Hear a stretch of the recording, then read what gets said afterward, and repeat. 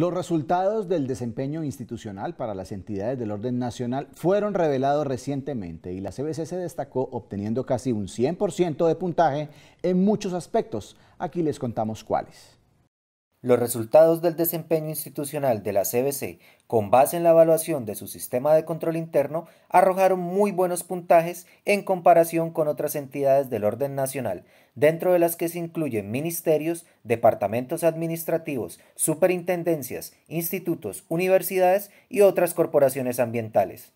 La Autoridad Ambiental de los Vallecaucanos fue la mejor ranqueada en cuanto a su política de control interno, con un 97,1%, en donde el promedio nacional fue del 77,3%, de un total de 222 entidades. Expliquémosle a los vallecaucanos qué es el FURAC. El FURAC es el formulario único de reporte de gestión, es decir, mide cómo se está desempeñando la corporación en todas sus áreas misionales. Eso es supremamente importante y afortunadamente le tenemos una gran noticia a los vallecaucanos.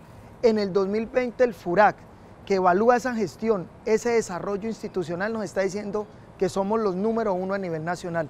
¿Eso qué implica? Implica un gran compromiso de mantenernos, de seguir trabajando en beneficio de todos los vallecaucanos, de decirles que se están manejando los recursos públicos de manera transparente, que todos los procesos y procedimientos de la corporación son acordes a lo que establece la ley. En cuanto a la política de transparencia, acceso a la información y lucha contra la corrupción, la CBC logró un puntaje del 91,5%, mientras que en la de servicio al ciudadano alcanzó el 98,1% y en la de participación ciudadana en la gestión pública el 96,1%.